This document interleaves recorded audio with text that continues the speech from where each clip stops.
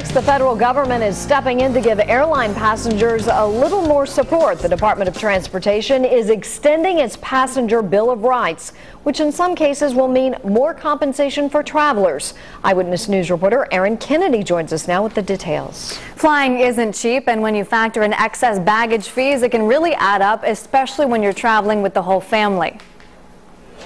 Under new federal guidelines, if your bags are lost, the airline must not only pay for the contents, but also give you back their baggage fees. Airlines will also have to pay more if passengers are bumped from an oversold flight, anywhere from $650 to $1,300, depending on how long it takes to get rebooked.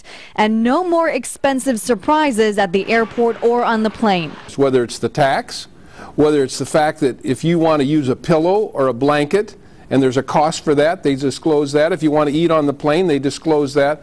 All of the costs for the ticket will be disclosed on the website. The airlines will also pay a price for leaving passengers stuck on a plane if travelers sit on the tarmac for more than three hours on a domestic flight or four hours on an international flight. The airlines face bigger fines. It's hard enough flying as it is. There's a lot of stress involved in it, a lot of planning involved in it.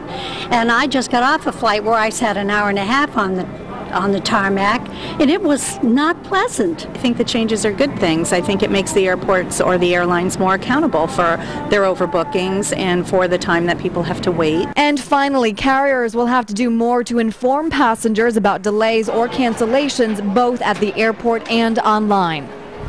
The expanded passenger Bill of Rights takes effect in August, right at the peak of summer travel. Erin Kennedy, Eyewitness News.